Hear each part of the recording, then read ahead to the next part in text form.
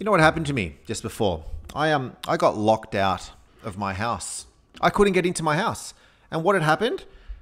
The Alexa units had gone down. Alexa is a solution. I mean, sorry if I'm triggering words. Uh, you know, use that word and it triggers stuff in your house. It's run by Amazon, and it's running on a service called AWS. And AWS is what's called a uh, Amazon Web Services, and essentially the internet runs on the cloud. A lot of the internet just runs on services, not like the cloud that is like, it's not actually like where you fly through on a plane. The cloud is actually physical tech, physical hardware, sitting in servers, in data centers, in network providers all around the world. And the internet runs on primarily three big services, right? AWS is one of them, Microsoft is another one, Microsoft Azure, and Google Cloud. And there's others out there. But what just happened is there's a massive global outage to a lot of AWS services. And as a result of that, all of the Amazon services that control all of your Alexa devices, your Echoes, uh, in my case, my doors, I've got ring cameras, I've got all this other sort of stuff. All of it stopped working. And the doors wouldn't open. I couldn't play music in my house. I couldn't check the temperature. I couldn't close my garage door. It's quite problematic when you rely so heavily on a service such as Amazon that you would expect that they would actually have multiple levels of uptime, multiple services operational so that things like this can't happen. Think about the impact that this is going to potentially going to have, right? In my case, it wasn't a big deal. I just couldn't open up my doors. I couldn't unlock my doors. And I mean, look, I made the mistake, mistake of going digital doors. So my door locks, I change them, I remove the key locks, and I put in digital ones because I'm a techie. You know, I work in technology and I love that sort of thing. So I thought to myself, self, go all digital. What could go wrong? This can go wrong. When this happens, everything goes pear shaped.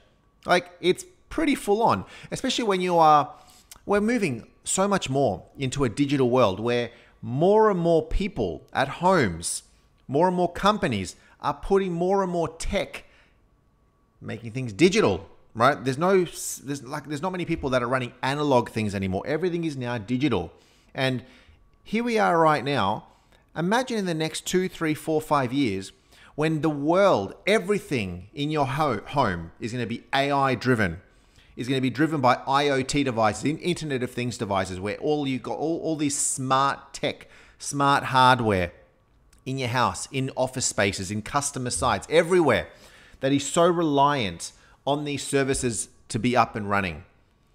What's going to happen? It's it's actually make, making me think like is it the best thing for me to actually have my my home set up so digitally uh, connected where all of my tech, all of my things are all reliant on these big players, the big few players that sort of control everything.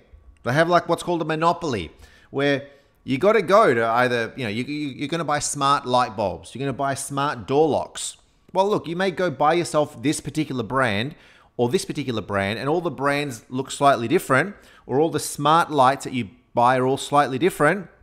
But then behind the scenes, they're all potentially running like they have to communicate to a central services uh, service of some sort. And in this case, a lot of these services we're talking to Amazon, we're talking to AWS, uh, and hey, I couldn't talk to my Amazon Alexa device and say, hey, do this, do that. Just didn't respond.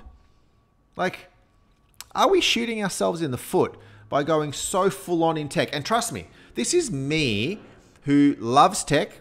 I, I that's my career. That's essentially what I do for work. Um, and if I can't rely on this, it's like, man, maybe I should go, you know, 10, 15 years ago and go a little bit more analog potentially. Start removing some of my digital tech because man, if I want to keep going down this route and I'm having more and more and more tech that is digitally connected, because I love my smart home, I love my home labs, I love all this sort of stuff. In a workplace, I'm setting up all this cool smart tech. That's all on the cloud. The cloud goes down, going to be in trouble. What do you think? Let us know down below in the comments. Did this affect you? Uh, is your Amazon device working? Yes or no? Let us know down below in the comments. Subscribe. We talk about lots of things on the tech topic. We'll see you on the next video.